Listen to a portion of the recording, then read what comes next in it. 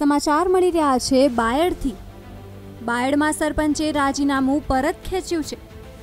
પટેલના મુવાડા ગ્રામ પંચાયતના સરપંચે આપ્યું હતું રાજીનામું. બાયડ તાલુકા વિકાસ અધિકારીને લેખિતમાં રાજીનામું આપ્યું હતું.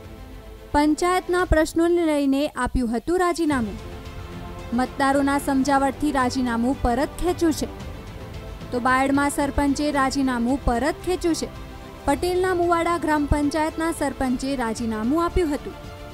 તો આ અંગે વધુ વાત કરવા માટે સંવાદદાતા સુનિલ પરમાર જોડાયા છે, જે સુનિલ પટેલના મુવાડા ગ્રામ પંચાયતના સરપંચે રાજીનામું આપ્યું હતું.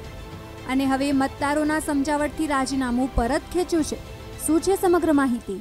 જી, ચોક્કસથી જણાવી દઉં કે બાયડ તાલુકાના પટેલના મુવાડા ગામના સરપંચ છે સરપંચ દ્વારા પંચાયતના પ્રશ્નોને લઈને તેમણે રાજીનામું આપી દીધું હતું. પંચાયતના પ્રશ્નોને લઈને તેમને અચાનક જ બાયડ તાલુકા ટીડીઓને તેમનું રાજીનામું સોંપ્યું હતું. ત્યારે એ બાયડ તાલુકાના પટેલના મુવાડા ગામના જે ગ્રામજનો છે, ગ્રામજનો દ્વારા ગ્રામજનો અને મતદારો દ્વારા સરપંચને સમજા સમજાવવામાં આવ્યા હતા. સમજાવ્યા બાદ સરપંચે જે રાજીનામું હતું તે પરત ખેંચી લીધું હતું. જી. આભાર સુનિલ. સમગ્ર મામલે માહિતી આપવા બદલ.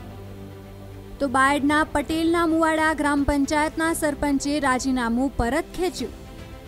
બાયડ તાલુકા વિકાસ અધિકારીને લેખિતમાં રાજીનામું આપ્યું હતું તો પંચાયતના પ્રશ્નોને લઈને આપ્યું હતું રાજીનામું.